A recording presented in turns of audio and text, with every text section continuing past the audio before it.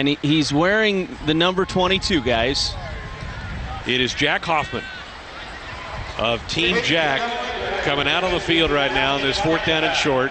For the red team. Jack Hoffman has been adopted really by this football team. A young man who has battled brain cancer is on the field right now for the Huskers. One more snap for Taylor Martinez, too, who will hand it off to Jack. Taylor Martinez in at quarterback. So Taylor gets the shotgun set, gives it to Jack. Here he goes. He's got blockers out in front. There he goes. Jack is running to midfield. Listen to this crowd as Jack Hoffman, a young man that, as I mentioned, has really been adopted by this football team, just scored a touchdown. Oh, wow. What a moment. And both benches empty. That that was a moment right there.